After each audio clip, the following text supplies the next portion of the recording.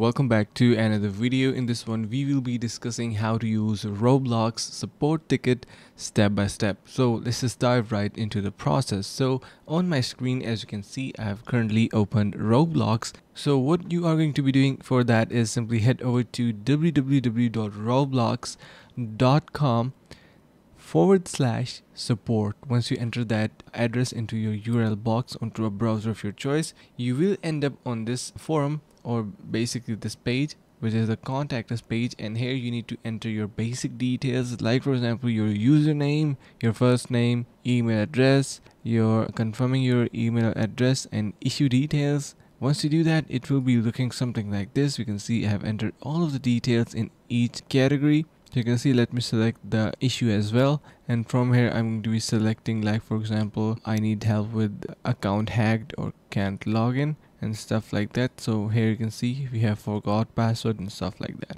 So then what you are going to be doing is that or you can select like for example two-step verification and make sure to check that every field is perfectly filled and you are going to be clicking on continue once you enter that in here and it will be emailing to roblox official support team and creating a ticket. So that's how you can simply create a support ticket and use the ticket and they will let you know in your official email address that you have provided in here and then eventually your ticket is created. So that's a pretty simple step. No rocket science here guys. Make sure to subscribe to the channel and do not forget to share with your friends. Thank you so much for watching and see you in the next video